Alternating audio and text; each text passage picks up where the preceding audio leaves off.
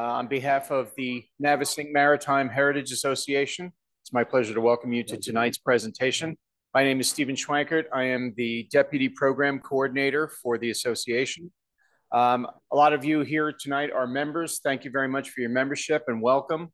And to those of you who are non-members, please consider becoming a member. It really supports the work that we do, the preservation work, the historical work, and also it supports presentations like this so that we're able to offer it to you and members of the community for free. Also, welcome to everyone who's joining us on Zoom. Uh, just a couple of housekeeping notes.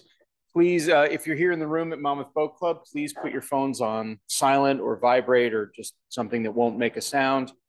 Um, we have a couple of programs coming up that we think you'll enjoy. There's Weekend at Old Monmouth, which is the first weekend of May. Um, we are on the blue route, yes? Yes, we are on the blue route, but you can come. You don't have to participate in any route. The lovely thing about Weekend at Old Monmouth is that you can kind of do it any way you like. Uh, you can just come to Grover House, hang out with us. Um, we'll have some refreshments. We'll give you a tour of the house. You'll get to see some of the work that we've done on its preservation. And uh, yeah, come on by. It's it's it's always a lovely weekend. It's also a great time to explore Monmouth County history. Um, So it's really it's really up to you. That's on uh, our. our. If you want to pick up a flyer for um, Grover House, it's on the table on your way out. Also coming up this summer, we have our River Monmouth Boat Club is all. Thank you. Monmouth Boat Club is also on the historic tour, so be sure to stop here as well. Um, we also have these the our summer River Rangers up in July and August.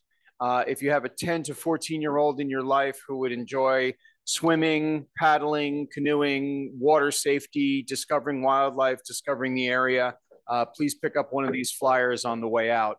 Uh, registration is filling up, and now would be a good time to get get that locked in for the summer. So those flyers are available at the, towards the at the table towards the entrance. So it's my pleasure to introduce John Barrows, who is the editor of Monmouth Timeline. Uh, he's going to give us the presentation about the land wreckers, and I'm going to turn it over directly to John Barrows. Please welcome John.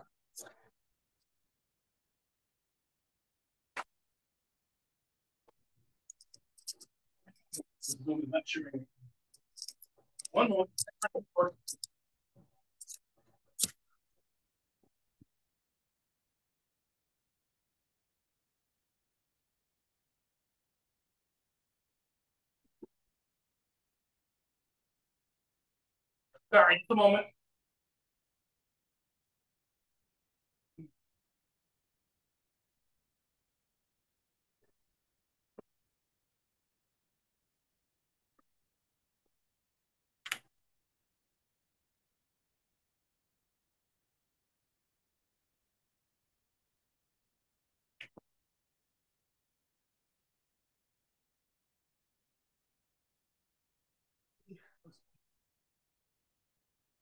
We're good to go. Thank you. Thank you, Steve. Um, thanks, everybody, for coming out here today. My name is John Barrows, and I am editor of Monmouth Timeline. Um, I am originally from Eastern Massachusetts, so I grew up in a history-rich part of the world. Um, and I, my wife and I have been living in Little Silver for the past 30 years uh, and have absolutely loved it. We actually came to New Jersey to get our careers together so we could go back to Denver. We've never looked back. We've stayed here ever since and I've absolutely fallen in love with the area. Um, for most of my career, I worked up in Morris County um, as in corporate communications for companies like uh, Avis and Nabisco. And uh, so for 25 years, I was living in Monmouth County, but hardly spent any time here.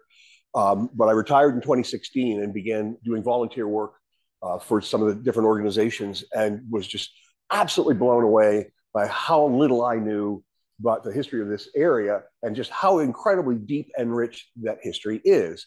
And uh, eventually, I realized that there was no one place where all these incredible stories uh, came together. So that's why in uh, 2000, I launched monmouthtimeline.org. And that's a website that presents the illustrated history of Monmouth County. Can you hear me in the back with my voice at this level? Because I can click it up if I have to. Don't think I won't. So it's a website. It has 25 different categories, everything from um, crime, science, women's history, black history. But uh, one of the most popular categories um, is ships and shipwrecks. Um, every day, the site features what happened on that day. Not every, there's not a, we don't have something for every single day. What we have, what we'd like to try and do is have everything important um, to uh, and uh, the uh, calendar. And then um, we have a bunch of featured stories uh, that are written by leading historians um, from the region, such as Rick Geffken, Randall Gabrielan, uh, Melissa Ziobro, uh, and some familiar names like that. So let's get to it.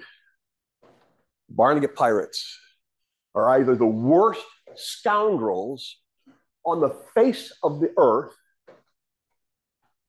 or they are a much injured set of men. Right? That was a statement made by a New Jersey state senator in 1846. Not a, little, a lot of middle ground there, is it? We're scoundrels on the face of the earth. Sounds like a good research question to me. That's what we're going to be. That's what we're going to delve into today. So, today we're going to look at who or what were the wreckers of Monmouth County. How did they differ from other people who were doing the same thing in other shipwreck prone parts of the world. How did they end up with such a terrible reputation? And then how did the wreckers of Monmouth County influence the formation of the US Coast Guard? So, best way to kind of tee up where we are in history here. US Coast Guard came into existence in 1915. 1876 U.S. Life Saving Service, 1878 rather. Um, and then there was the, before that though, and then there was the Newell Appropriation in 1848. But before that, from 1848 backwards, if your ship was on trouble close to shore, your life depended on wreckers. Now we're talking about a period of time when it sometimes seems like a miracle that any sailing voyage was ever successfully concluded because there were so many things that could go wrong at sea. And so uh, here's Lloyd's Register of Shipping, and this is one of the older ones that you can uh, that's accessible. But this gives you an idea that the kinds of things that Lloyd was Lloyd's was uh, uh, keeping track of. Now, this isn't everything that can go wrong in a boat. This is everything that goes wrong in a boat so often, Lloyd's needed to keep track of it foundered, missing, broken up, condemned, burnt, collision, thank you, wrecked, lost, etc. What does the etc. mean? War losses. So, what we're really talking about here is shore based marine rescue and salvage. Now, those are very separate entities today. Um, but they were they were basically one thing in this era pre 1848. So it's kind of important to just maybe take a little bit of a look about what is what are we talking about when we say marine salvage? It's pretty much it's a system that's been in place for the, the entire era of sail. Um, it, it is usually marine salvage is usually guaranteed by a different set of laws than the laws that guarantee such things on land.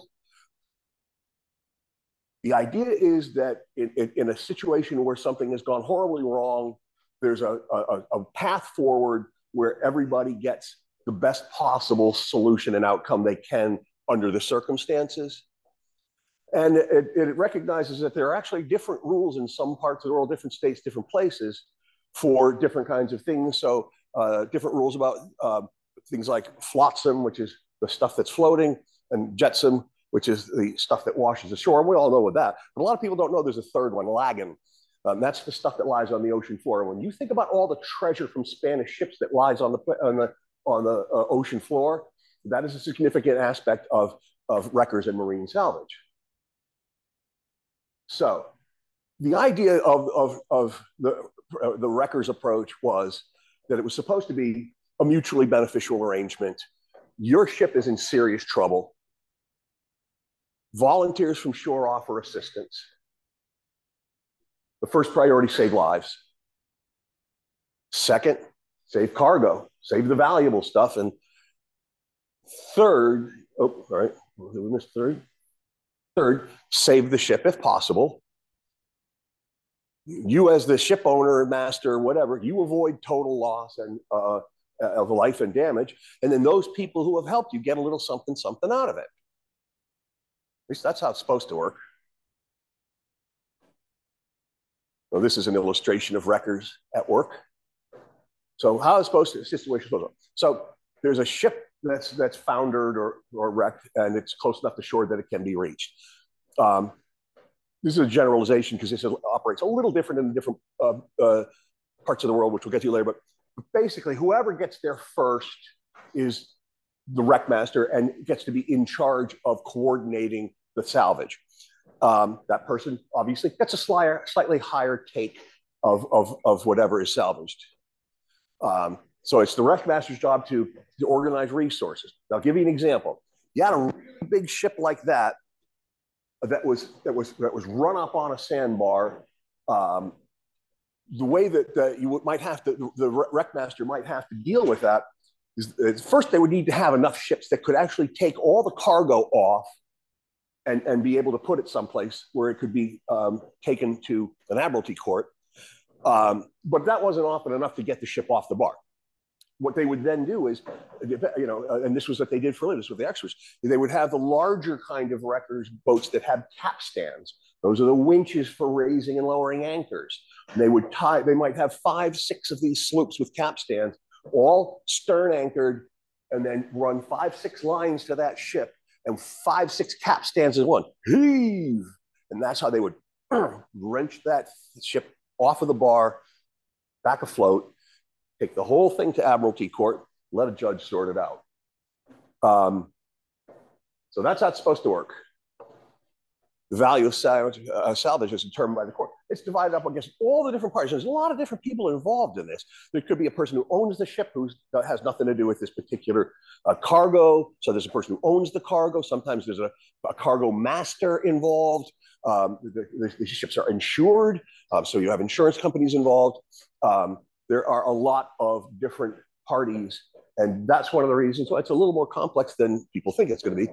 Um, anyway, uh, over the years, um, the wreckers in different parts of the world, particularly in most uh, in in England and in particular Cornwall, um, you started to see these accusations start to come up, um, and three accusations seem to come up all the time, and they're pretty heinous.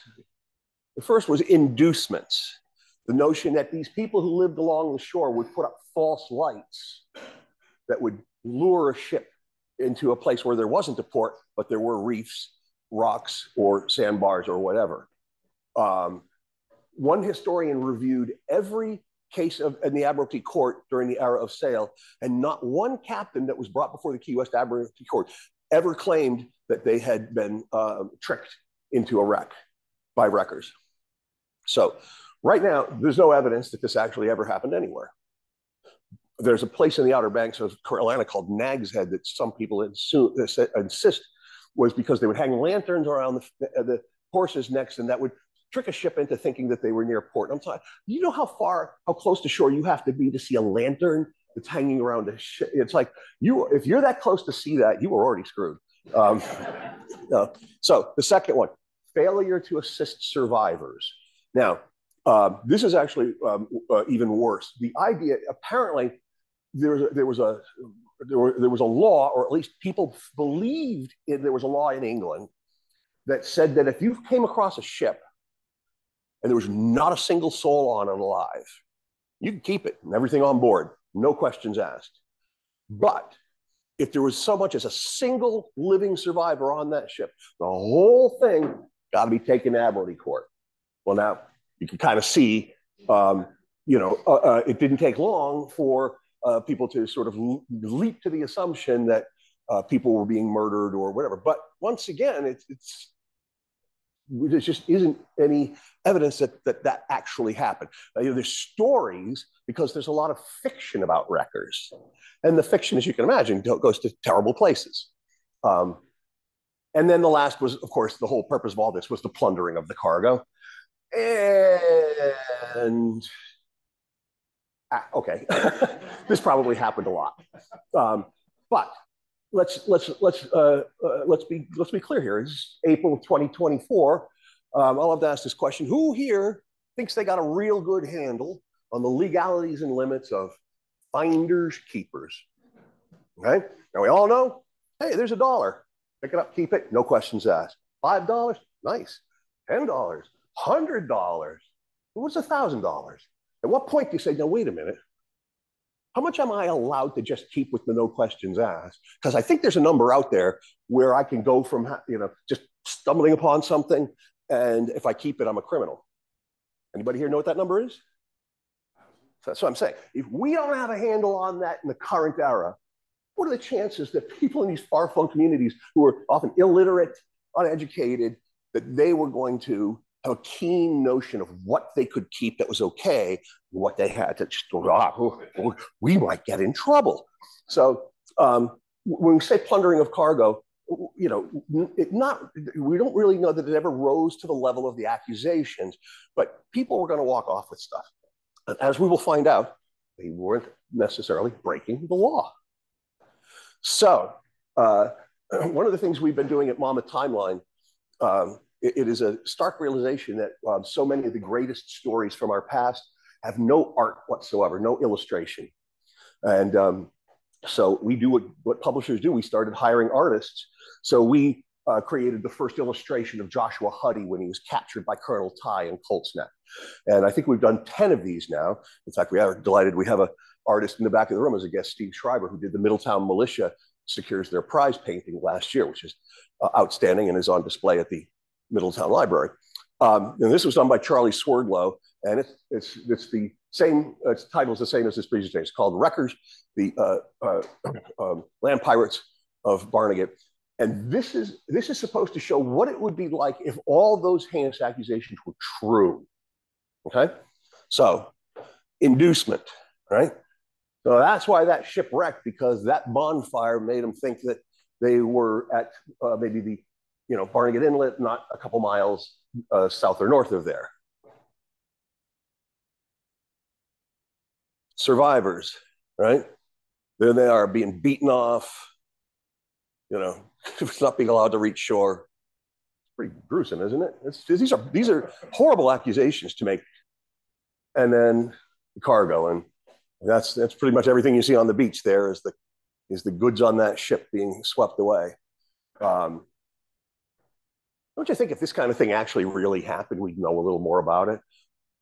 Well, anyway, um, so this is a this is a situation that exists in uh, a lot of different places, but um, records in the original colonies, each one has a slightly different dynamic, um, and uh, so Sable Island, Canada, that's up in the St. George's fishing banks between it's fog and wind.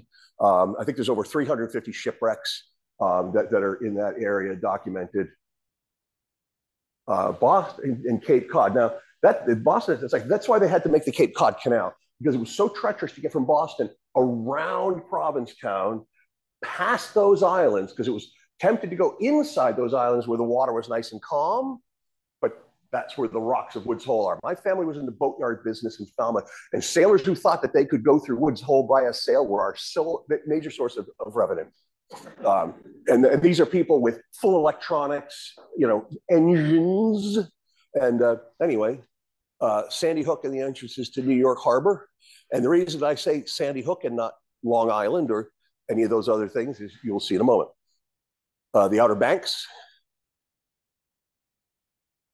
and the Straits of Florida and the Caribbean.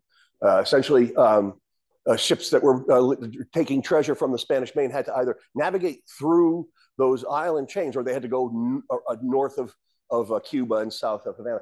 Those are both deadly, deadly waterways with uh, hidden rocks that have names the way uh, whitewater rivers have, the rapids have names like Raft Ripper and Widowmaker. So, there's all so these are, these are all places that ships wreck all the time. And that's why each of these places has um, wreckers. Now, the wreckers in the Caribbean, they're all mostly based out of out of what was then called Providence, uh, the capital of the Bahamas. Um, but there were Native Americans who were some of the first wreckers. And the Native Americans were free divers. So they were just people who would hold their breath, dive down, and come back with some gold from a Spanish ship. Uh, again, that's why that lagan thing is that because they would pass, of course, they passed laws to say you couldn't do that after all. But so why was the why was why is our area so dangerous? Why are there you know the numbers vary 1200 shipwrecks depending on how far south you want to go. But but our little region is phenomenally dangerous for shipwrecks and always has been because of the geography. So it, it, uh, at the top there leading up to the letter E, that's the Hudson River. And of course the Hudson River is not a river uh, because it was carved by a fjord. And you can see that that glacial activity creates the deep water channel that goes all the way out to the ocean, right? But look where it goes. It goes right hard by the tip of Sandy Hook. Let's take a closer look, right? So there's Sandy Hook at the bottom, and you see there's the main channel, Gedney Channel, Swash Channel. Those were the only ways in and out of Manhattan, right? And look how close that goes to Sandy Hook. Now, once you're on the other side of the bar, as they called it, you're in a very safe harbor. You're one of the safest natural deep water, water uh, ports in the whole world. But if you get blown off, of course, in either direction, really good chance of wrecking, right? And oftentimes, some of these channels would might have a shipwreck get in it, and so now you have a channel that's blocked. This is where the, why the critical importance of, of uh, pilots, local ship pilots, became more and more important over the decades um, because you just couldn't know what the right way to get over past the bar was in those days without a local expert. Now, this is a current map. And what this is what interesting is here. So you can see there where the dredged uh, uh ship can, uh, is uh, uh, channel is, but there's the same deep water channel still goes right by Sandy Hook. And we all know Sandy Hook has been growing for, for as long as there have been settlers here. that's why the lighthouse isn't close to the shore. And so what's interesting is that even though Sandy Hook keeps growing, there's still that deep water channel that just runs right off the tip of it. Um, and then there's this. Um, this is Horseshoe Island. This didn't exist 10 years ago. And it's off of, it's, it came, it just popped up off of LBI. So it was, it was a, it was a sandbar, then a bigger sandbar, and then a kind of a, you know, a, people go camping there now. and it's, in its own way, it's so dangerous that they, they had to um, block people from going there. But that's off of LBI. That happens all the time in nature where, and, and, you know, I mean, less often now with all the development and dredging and all that. But, uh, uh, you know, you, you might bring your ship into port um, and have no problems this year. And next year, that's there that wasn't there before. It's not on your map. Um, and so again, this is this is the sort of thing that made our area so shipwreck prone.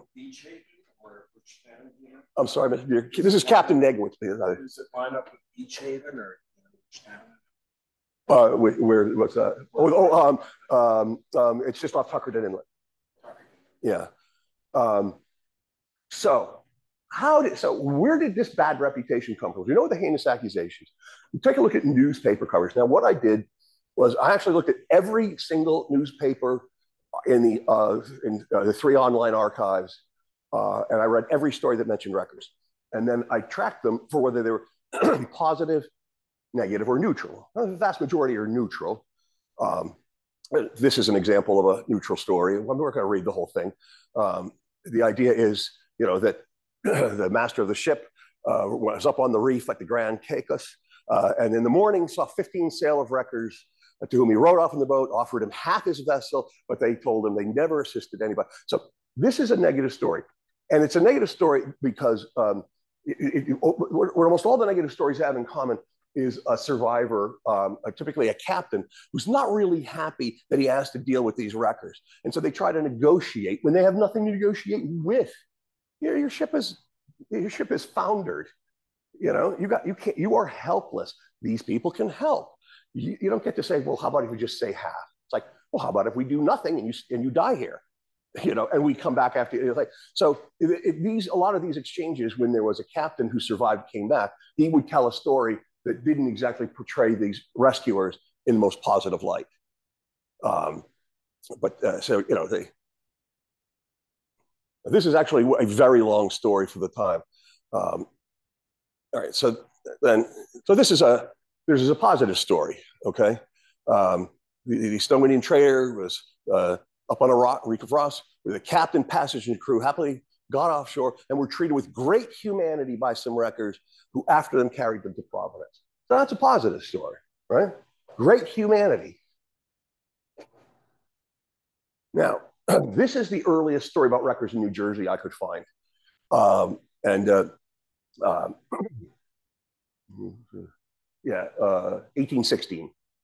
And um, uh, this is this is a firsthand account of a crew member who was on board a ship that ran onto a sandbar off Cape May, and some locals came to provide assistance.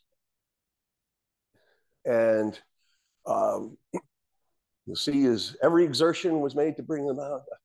Uh, let's say our endeavors would have been fruitless but for the courageous and enterprising exertions of a few persons who assisted us from shore. Every possible means is using to preserve what may be got from the wreck. That's pretty positive. Now, Maryland Gazette, same day, another firsthand account from a different crew member on that same ship. Okay, this one's long. Well, I was not going to try and do it all, but we'll cut to the chase here. As the lives of the men were my only object, I can say little about the cargo. I saw the wreck master with a gang of hands busily employed and had many bales of goods entire already secured. And as he is a vigilant man, there is not much danger, but such goods as come ashore will be principally saved. So, right? Now, this is a positive, this is a positive story. There's two firsthand accounts that are positive. Okay. Now, the third one comes about two weeks later in Philadelphia, and it's the same story up to a certain point. And then there's a little bit that's been tacked onto it. The conduct of the part of the people of Cape May County has been the most infamous in plundering and carrying off the goods that were washed ashore. A lady who was drowned and whose body came on shore was stripped of her watch, necklace, and other trinkets. And the amount of goods stolen probably amounts to $20,000. 170 packages of silks, broadcloths, china, and other valuable goods for all that is saved. In a few weeks, Cape May and Egg Harbor will, will, uh, will shine with silks, ribbons, and ostrich feathers, the property of persons in New York and Philadelphia. Uh, the collector appears to be an honorable, correct man. Would that the same could be said about the wreckers. Where did that come from? The two crew members who said everything that happened with the people on shore was humane and positive and, and, and done with integrity. And then another newspaper, not quoting any source, right? Not quoting any source, now tells a completely opposite story. Now these people are scoundrels. Are they the worst scoundrels on the face of the earth yet? Wait and see. Um, but this is one of the reasons it's so critical that if anyone's ever doing historical research, that you can't just ever take one newspaper story and say, that's the fact. Um, it, it, because this is, you know, if this was the only story you read, would you think you actually had an accurate view of what happened? So um, that's why it's so important to look at as at everything you can, as tedious and time consuming as that can be. Uh, yes, Cape May County, most infamous in plundering. Um, let's go on. Now, so where this, these heinous accusations originated in England, and the newspaper coverage in England was 10 times worse than that story. Uh, uh, so here's a ship that uh, was so, so, and for what escaped the fury, the sort of fell a prey to the rapacity of the wreckers, who numerously infest many parts of the Cornish coast, watching the shipwrecks with the greatest eagerness, when instead of assisting the unfortunate mariners, they too often prevent their escape from a watery grave in order to plunder the property. This was a, this was what, what you see in the UK a lot is the slandering of the people of Cornwall. Um, but without witnesses, or usually without even something specific. Um, and it, got, it tended to get worse over time, where records became a metaphor for horrendous malfeasance and bad. But so uh, uh, corrupt stockbrokers. You know, there would be there would be stories in London newspapers about uh, the stockbrokers and who are as like the wreckers with no regard for anybody's life or property but their own, and who will induce people to you know uh, you know allow them to you know, you know all the time without actually referencing wreckers who have actually done something wrong. Like they never say, as like with the wreckers of 1816, this is like these wreckers, this is what they do all the time. And it's just, so t- this kind of thing can take on a life of its own. And clearly, you know, as we know, um, and pretty much as English colonies, the things that happen in England come to the United States. And so newspapers in Philadelphia in particular started using wreckers as a metaphor for rapaciousness and all that. So, in 1832, uh, there was a ship called uh, January 6, 1832, uh, a ship called the George S. Canning, uh, uh, foundered on a sandbar um, outside off Barnegat. Uh, three other ships, likewise, did the same over the next 18 months.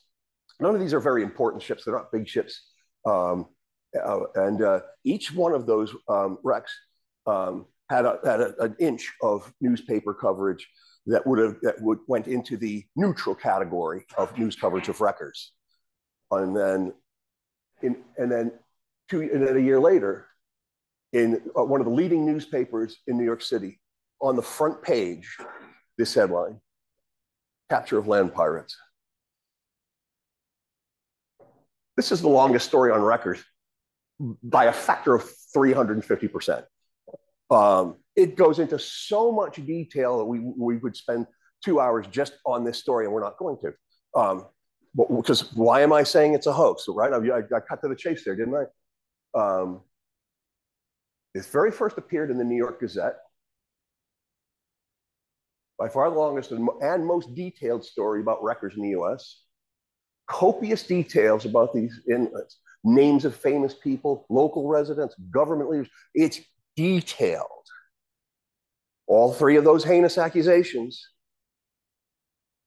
it was picked up by a number of other newspapers. So it was probably picked up by maybe 25 or 26 other newspapers. That was standard procedure back in the day. In the, at this time, uh, uh, the, news, the, the, primary content of most newspapers was uh, content that had been previously published in other newspapers. Mark Twain wrote a short story on that called Journalism in Tennessee. It's one of the funniest things you'll ever read about the, um, what it was like uh, for newspapers you know, to republish other people's work and how they didn't often like it. Um, at any rate, uh, so, you know, it had, it, it, was a story that had some legs, um, but no major publications. The New York Times doesn't touch it. You know what I'm saying? The, the, the big, major, legitimate publications don't touch it. And then it fades fairly quickly. That story doesn't seem like it should have faded at all, um, but it did. So why again? Why do we think it's a hoax? Well, we'll take a look at some of the details. Um, yeah, only about 20 papers chose to run the story, uh, ignored by the big city outlets and every newspaper in New Jersey. Not one newspaper in New Jersey thought that story was worth picking up. How does that seem possible? Was it, there wasn't that much more interesting stuff going on than the fact that uh, by the way, in that story, it applies that two thirds of the entire village of Barnegat complicit in the piracy, murder, and um, uh, uh, uh plundering. That there were twenty some ships that were that were at anchor um, in uh, uh, in the harbor. Um, but when the insurance agent that was sent by the New York judge showed up in town, all twenty heaved anchor and, and and sailed up, never to be heard from again. Um, the, the fled to Indiana, where he was tracked down and arrested and brought back and put on trial. Um, and uh, oh, it wasn't a wreck master. He was he was um, he was the he was the ringleader who was the who was the justice of the peace and this all this other stuff. William Platt, and um, uh, so on and on and on with the, with these kinds of with these kinds of accusations. But none of that was picked up by any of the other New Jersey newspapers. So um, now it's also important to remember what newspapers were like during this time. This is a period, you know, they were, they were called the penny press. Um, and, and they were entertainment. They were one of the leading forms of entertainment. They were a long ways away from where they were trying to present themselves as the beacons of, of truth and, and, and factual uh, relaying of news. And so that's why these, these newspapers had uh, stories, poems, and um, uh, a lot of completely made up stuff. Um, and, and that was commonplace, and that was true of almost every one of them. Newspaper hoaxes, fairly common in that era. Okay. And the two of my favorites, 1835, right, that exact same time, uh, the, the New York Sun started publishing a series of stories about a colony of people on the moon. And uh, everybody just ate it up alive. Um, and uh, and then oh, it's a little later than our story. It's still one of my favorites. That in 1864, the publisher of the Brooklyn Daily Eagle arranged to have a forged Associated Press announcement that was circulated to all the New York papers, ostensibly from the White House, in which President Abraham Lincoln apologized for his inability to be the man who was up to the challenges that he was facing. Um, once again, most of the legitimate outlets recognized it for um, the forgery it was, but it got picked up by enough places that it triggered a stock market panic, which was the whole point, and that none of that was even illegal. So you could, if you had a newspaper, you do almost anything you wanted. So here are a few details that don't that just don't hold water. So the judge Betts um, who orders this uh, insurance agent, who only has one name, he's, his name is just Huntington. He doesn't have a first name, or maybe Huntington was his first name. Um, this is this is no different than the system of uh, the, the federal circuit courts we have today. Um, you have a New York judge who deals with New York matters. New Jersey matters are handled by New Jersey judges. That's the whole point of the system. So a New York judge doesn't send an investigator into New Jersey to deal with a crime that happened in New Jersey. Garrett Wall, the very famous New Jersey resident, and he was in fact New Jersey state attorney at one time, but that was yet to come. It wasn't at that time. William Platt wasn't any, there was a guy named William Platt who shows up in a newspaper story as having been, uh, uh, uh having had a um, warrant for his arrest um, because he had fled the county. And if he had fled the county to avoid divorce proceedings. And uh, so, and, and, you know, so yes, there was a William Platt. Yes, there was a guy who, by that name who got in some trouble with the law. Um, nothing to do with any of this stuff. So it's like the whole thing. You start picking apart every fact that's claimed in this story. Almost none of them hold water. Yeah, he wasn't arrested. you know? um, so, and again, you know, all the official records that should be there. There were no arrests, no trials, right? There's there's there, there's no incarcerations. There's it's like it's just poof. All those things happened and nobody cared. It went away. That's why I I, I, um, I believe it's a hoax. And then uh, there's a whole bunch of specific names that are mentioned that just can't be verified anywhere else. Now I haven't done I haven't taken that to the ninth level, which I intend to do, but you know, which is that's like start taking some of those lists of names and going through census records and and, and casting a wider net. This is a story that I want to keep researching um, because uh, the ultimate um, uh, uh, question is um, why. But the other thing is, and this is what people don't expect, is that all these allegations are refuted by official documents. So who did it and why? Well, selling newspapers, that's why that was the whole colony on the moon thing. The Sun was one of the lesser known papers, and that rocketed them to the top. Um, uh, insurance fraud, okay? Insurance fraud happened all the time, fairly very common thing. What if the reason that not all that cargo that was on those four ships made it back into the hands of their owners was because that cargo wasn't on the ship in the first place. Was a falsified manifest, and how convenient that the locals all ran away with it. Okay? Um, no evidence to, to support that, but it holds a little bit of water. Revenge? I can't figure out why. This is a really serious slandering of Barnegat. It's a small town. what, what, could have, what kind of bad experience could anyone have had at Barnegat where they would have said, you know what, get them back. You wait and see. You wait and see. Um, and then this one, okay, to improve America's, bear with me here. Uh, okay, it's, it's uh, 1834. We are still not very far away from the War of 1812. America has only been on its own, fully independent for a fairly short period of time. And we do not have a good reputation um, with the uh, leaders of the civilized world elsewhere.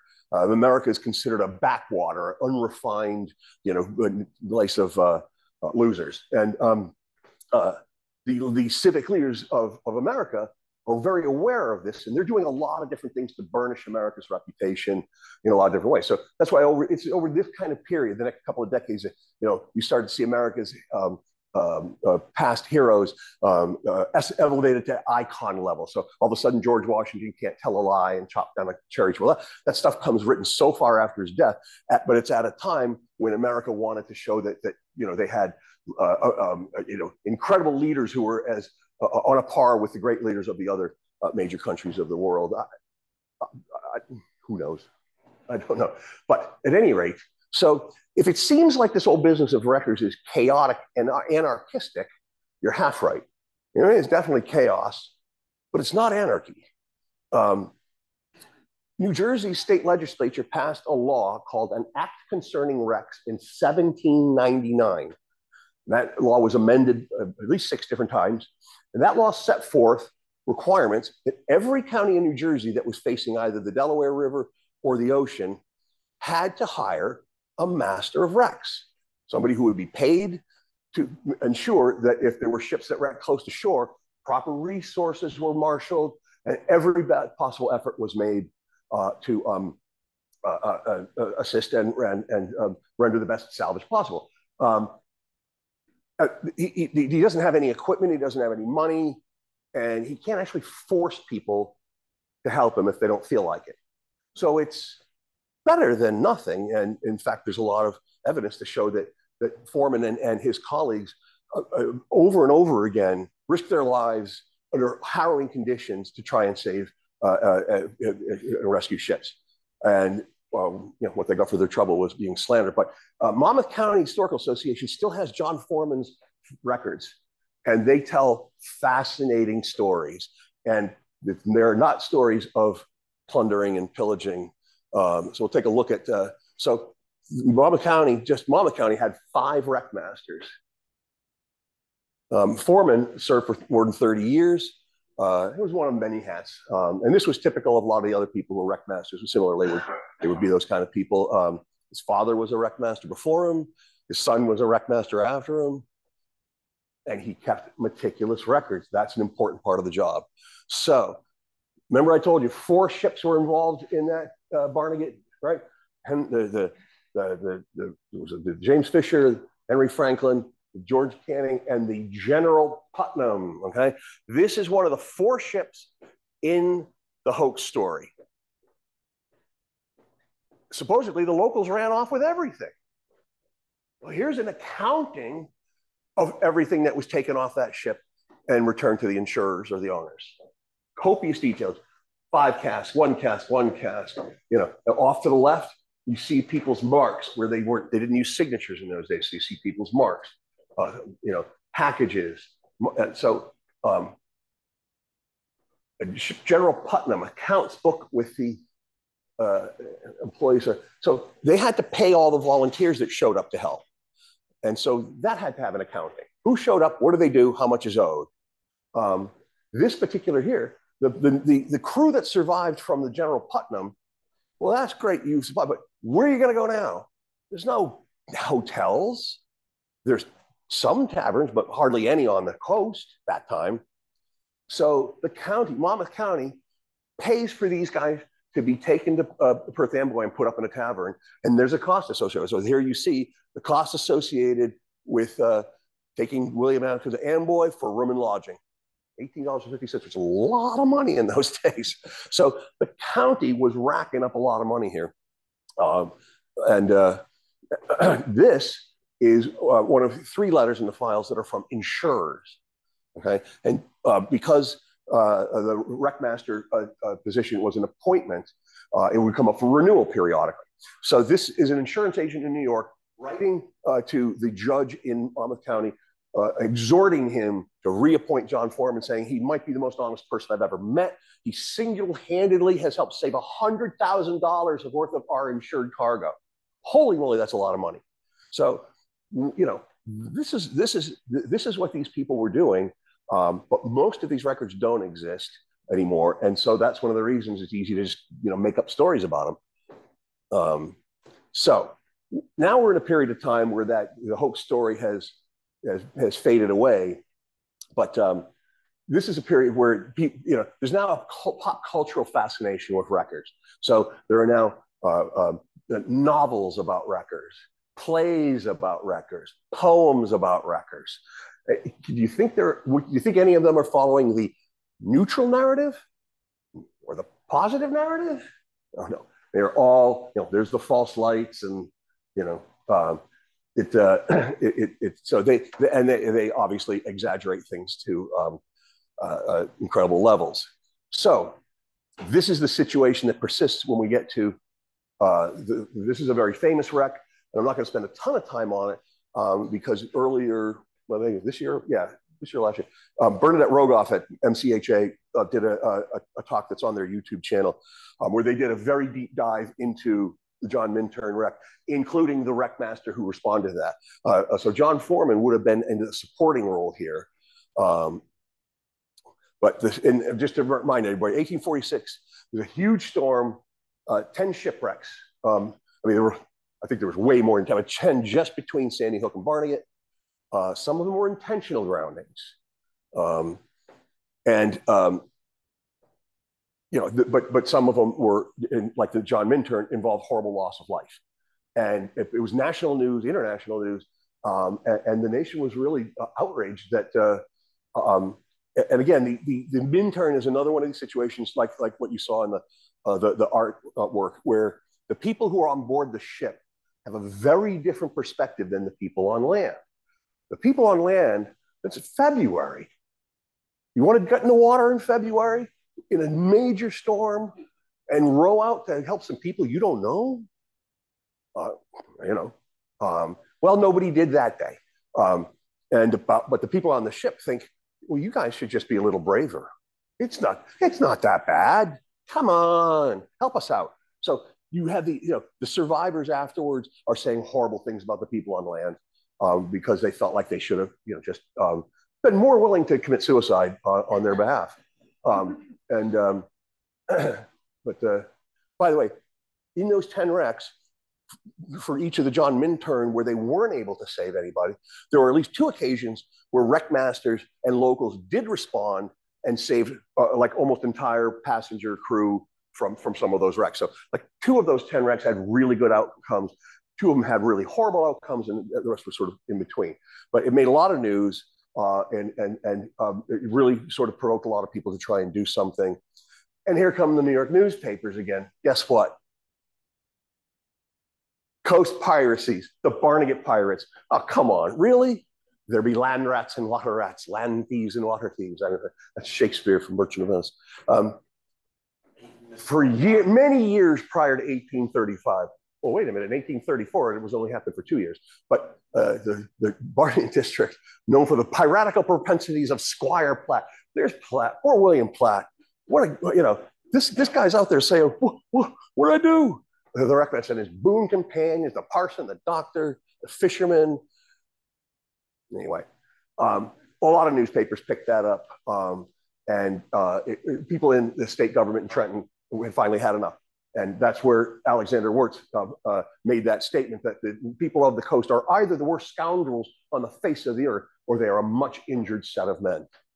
So, um, uh, what Wurts did was he challenged the governor to do something about it. And the governor did the governor initiated a, um, an investigative uh, committee that went down to Sandy Hook the next day to start interviewing survivors. And uh, this is why we believe that all of the Wreckmaster papers from the Minturn are missing because they would have been swept up in that investigation. And we just like to think that somewhere out there, maybe in Trenton, there's a box that someone hasn't opened yet, right?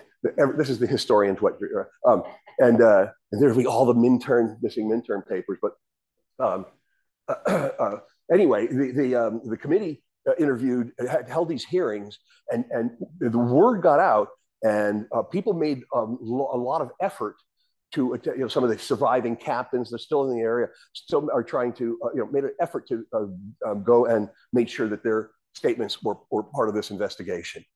Um, uh, and uh, yes, Charles S. Stratton. Um, they meet in Freehold. They toured the site, and then uh,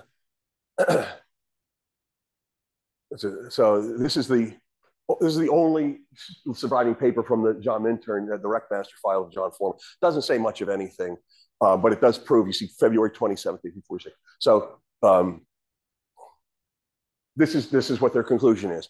We therefore report to your excellency the charges in the resolution under which we act are accordingly to the best of our own judgment upon the evidence, each and every one of them untrue.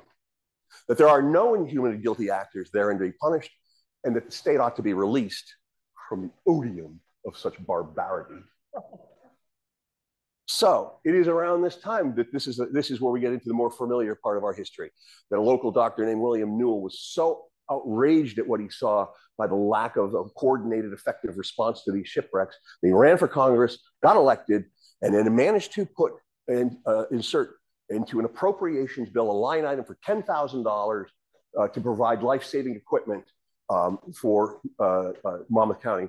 Um, some people like to call this the Newell Act. Um, it's not an act.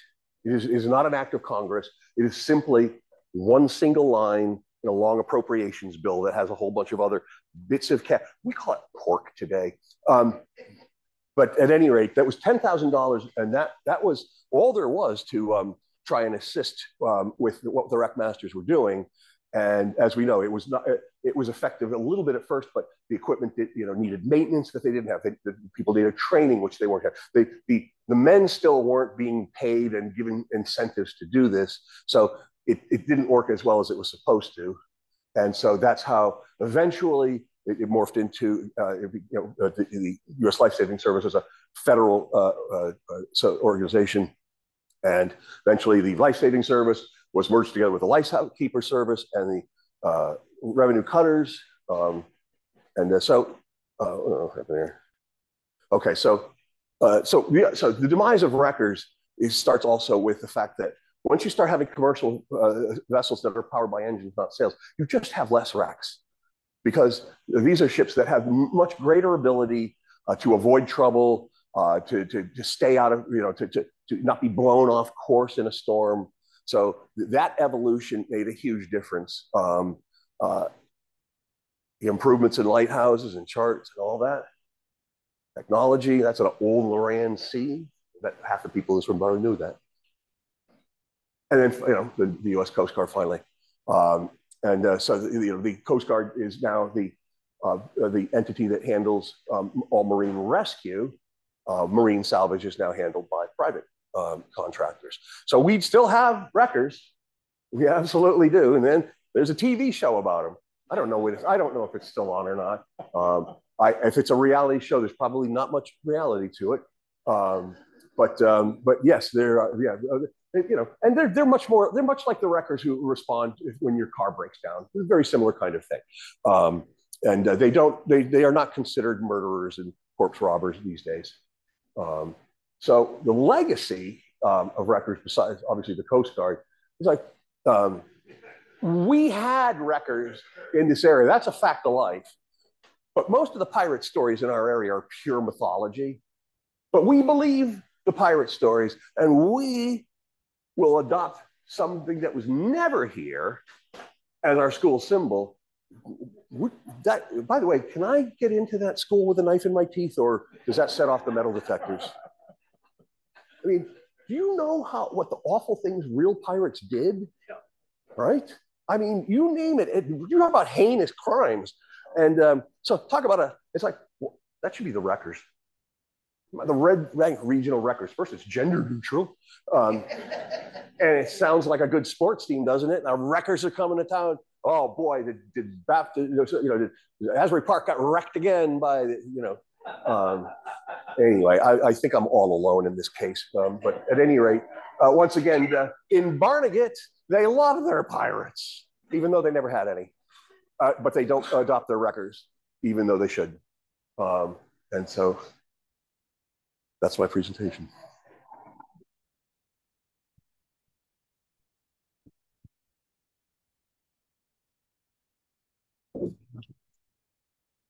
Captain, very mild correction, forgive me, you did exhaustive research on this. I used to be in journalism.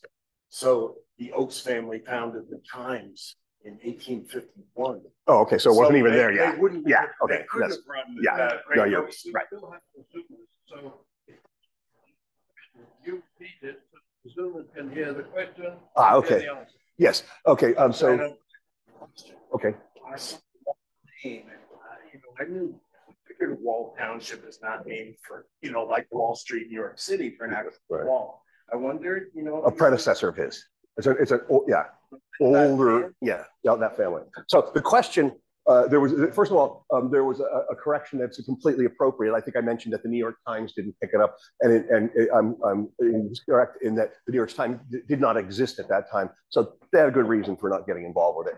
But the, the point I was making was that all of the other leading legitimate newspapers in New York did not cover it, and not a single paper in New Jersey, which, which the that. And uh, and so the question was uh, the reference to Garrett Wall um, was uh, uh, is is that um, either the person um, or the family for whom Wall Township is named, and not the, it is it is not the person, but it is the family. Anything else? What else?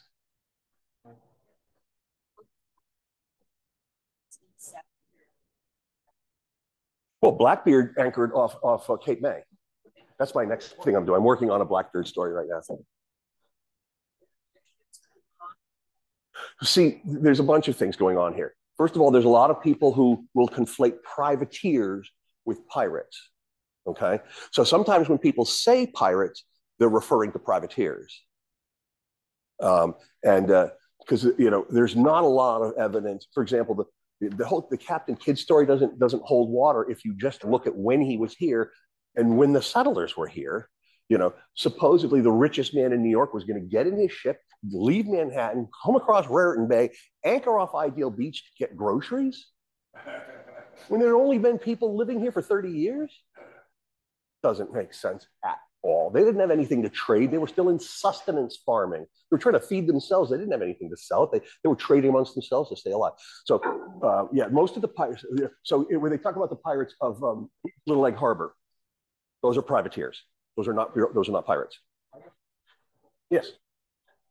Uh, people setting lanterns on the beach, that cargo. ships. Is there any truth in that? Uh, almost certainly. Say that again. I love yeah. Oh yeah, right. Well, again, that was an accusation that was it was everywhere in the British colonies, but nobody ever ever ever brought a case to Admiralty Court. If you were if you were a ship captain and you wrecked your ship because somebody duped you, wouldn't you be yelling loud and about that? Hey, hey, hey! You know, somebody. I thought I was at the entrance to the. You know, no one ever did. So, uh, and and uh, plus, no one was going to. Uh, uh, that was that was not a. That was not a, anyway. I I I I, I just I, I question was uh, um, where there, there's a, a law that, that, prohibited people from putting up false lights. They may have just passed that law um, because there was the, the rumor of false lights. Uh, but at any rate, I, it, there is there is still no evidence that that actually happened. You didn't want to admit they were duped. I'm sorry. Maybe the captain didn't want to admit. But uh, yes, so the question is when he, when the captain didn't want to admit he was duped. Sure, but not one of them. I mean, we're talking about hundreds and hundreds and hundreds and hundreds. We'll see it, right? That's why that's why we our, our artist used a, a, major bonfire because even with a good telescope, I mean, the whole point of going up the coast is to stay a pretty far safe distance, um, and you know, not a lot of people are you know the vast majority of the traffic is going to Baltimore and Philadelphia and New York and Boston. It's not going into Ocracoke. It's not going into uh, not even you know the, even the chest well to Baltimore, but um, you know, the, the, so it's like, you know, these are not, these are hard, these are not, uh, it's like there are major lighthouses at these ports, at all these ports of entry. And, um, and again, you, you, the, the system of pilotage, it's like you can, so it, it, um, yeah, it's, it's, uh, the, the, the Duke part is, um, I still think that, that they, uh, somebody would have admitted that at one point, but. Uh, so writers and journalists people not understand that people have a right to run out from Barnegat and negotiate percentages, splits, or they rescue them legally? Uh, so the yeah. Yeah, so the the question is impossible that new yeah, is it possible that newspaper uh, writers simply did not understand that the system of how the system of marine salvage operated, and that these were legitimate people that were performing uh, tasks as prescribed by state law. Um, it's hard to believe um, because uh, because it was a law that was amended six times. So this is a this is a thing that's happening uh, uh, periodically. Um, it's constantly changing rates or whatever. Um, and uh, they didn't cover a lot of legislative stuff in the newspapers as much as they did. Um, but it's also because that this system had been around for hundreds of years. Um, and it's a little hard to swallow that they would be that naive.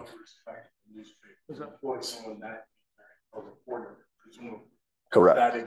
Well, I mean, uh, uh, uh, uh in those days, shipping news was the most important news because everything came by ships. The people you're waiting for are out there on a ship. The stuff you bought is coming in on a ship. Uh, you know, uh, the people you, the, you know, somebody you love just left on a ship, and you don't know when they're coming back. So, you know, the shipping news, uh, uh, and that's why it's a little. It's in those days, shipping was such a huge, important focus of everybody. That I, that's why it's a little hard to believe that newspapers would be like, "What? Those people, those those are hired employees." Hang on a second. Let me get this. Yes, sir.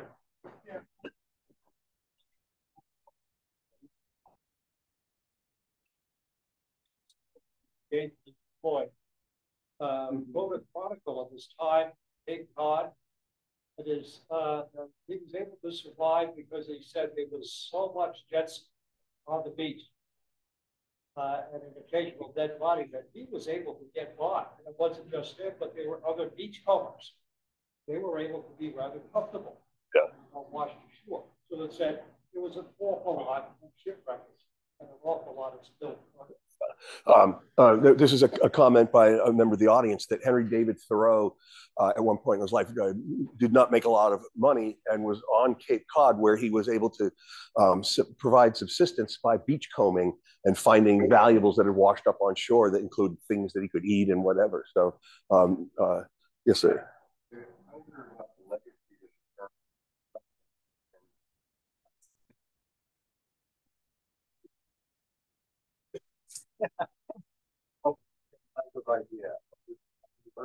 Well, now, oh boy. Yeah, in were people who would um, knock your house down, um, literally knock your house down, um, so that they could basically steal it. Like, well, you don't. Well, I don't see a house. Do you see it? So yeah, no, there's a Oh, there's, yeah, the, the story of the house wreckers in, in Ireland is movie worthy. Another question from yes, sir. Can you explain the difference between a pirate and a privateer? A, a privateer is a, a private ship that uh, signs a contract with a nation to serve as an extension of their navy during a time of war, where this private ship will attack commercial vessels and potentially warships, but that didn't happen all that often. Uh, so England used privateers to, as an extension of the Navy against France and Spain. The United States used privateers extensively against the British in World War I, but especially in the War of 1812. Uh, at the start of the War of 1812, the United States Navy had eight ships, and and but they they signed they signed uh, the um, these uh, local captains to what were called letters of marque that put forth rules so they are engaging in acts of piracy on a limited and restricted basis. Um, now, in the golden age of piracy, you had um, uh, privateers that were uh, uh, working for everybody against everybody. And then they eventually uh, signed treaties uh, that brought all that to an end. And boom, overnight, hundreds of battle tested privateers are out of a job. He, Mark, my letter, yeah, Mark, the letter of Mark, Mark is spelled M-A-R-Q-U-E. So needless to say, a great number of the, the most famous pirates that we know of, Blackbeard, uh, Black Bart, Calico Jack Rackham, uh, Benjamin Hornigold, um, most of these people did come, uh, were, were privateers uh, who didn't have an ability to make money as a privateer and decided, well, we'll just keep doing what we were doing and uh, not be so restrictive about it. What's that? Was the pirate honored by um, um, uh, not a pirate, but uh, but Henry Morgan, the privateer. Yeah, yeah. The the, the privateer Henry Morgan um, uh, was one of the most um, aggressive and successful, but he, he he stayed more or less within the rules, and he stopped at the right time and was knighted, and and and and, and hold on to a lot of his money. So yeah. To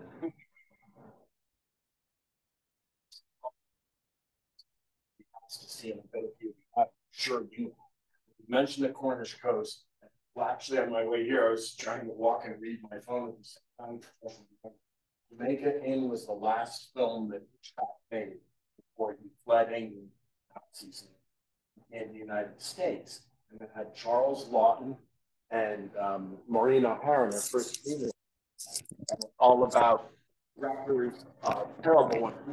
Let you drown, club you club you right on the club you your shipwreck to make sure there were no survivors. Well, that's why you saw that in the painting. You saw we had that in the Yeah. people in the water club. But it's, it was a Daphne du Maurier novel that had come out thirty-three years earlier, and I don't know what her source material was, apparently negative. But you know, Imagination. yeah, and maybe just her imagination. But it was a thirty-six novel by her and a thirty-nine movie by Hitchcock.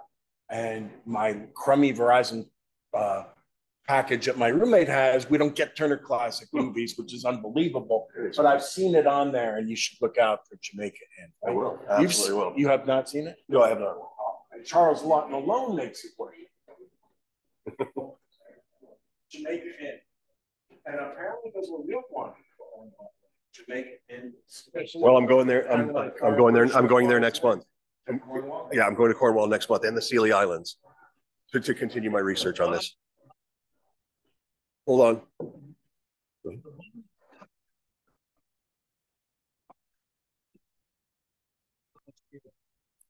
You know, uh, yeah, I have, I, yeah, the, uh, the events section is not up to date. I apologize. Hang on. There's it. It's, uh, the, the website is monmouthtimeline.org. Um, here we go. Okay, uh,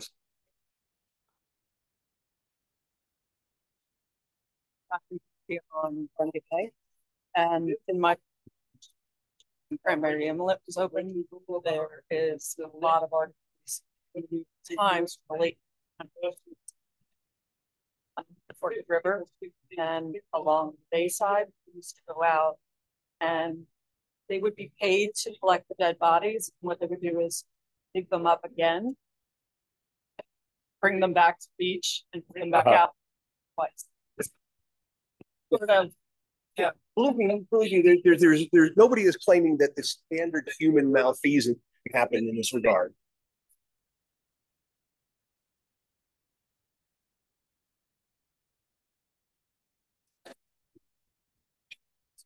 Um, Thank you. Still finalizing the details of the thing. Uh, so stay tuned for our website, uh, stay tuned for social media for that, and, uh, we'll hope to see you. Thank you very